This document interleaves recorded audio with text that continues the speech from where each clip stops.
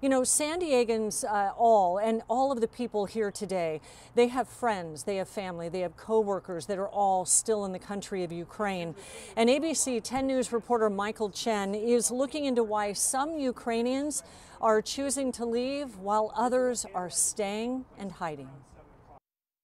Encinitas resident Ina Sosuliak says her sister Sophia and her husband were woken up at 5 a.m. Kiev time Thursday by the sound of sirens, prompting them to get into their car. A huge gridlock in Kiev of people just trying to you know leave the city and, and, and go to safety as the sirens were wailing artillery was shooting and bombs were dropping it's like you're praying you're not going to get hit emotional you know for her and, and, and for me the couple drove west to a small town in western ukraine she drove for over 30 hours to make it to safety. While the two remain together, others have separated. Marissa Friedman is Chief Strategy Officer for a local marketing strategy firm. Four of her freelance web developers and graphic designers are holed up in their office in Kiev. According to reports, Ukraine has banned men ages 16 to 60 from leaving the country. Very anxious and it's just it's just this waiting game. Friedman says the men's wives and children have made it to Poland. One family taking public transportation.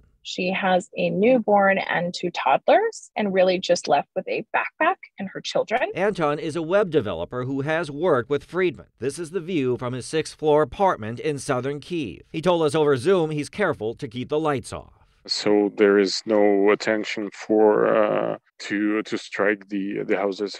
Anton is hunkering down with his wife, his seven month old girl, and a shotgun. Every few hours, the air raid sirens blare, and his family and others in the apartment complex head to a below ground storage area. It's always an adrenaline. It's scary sometimes. Michael Chen, ABC 10 News.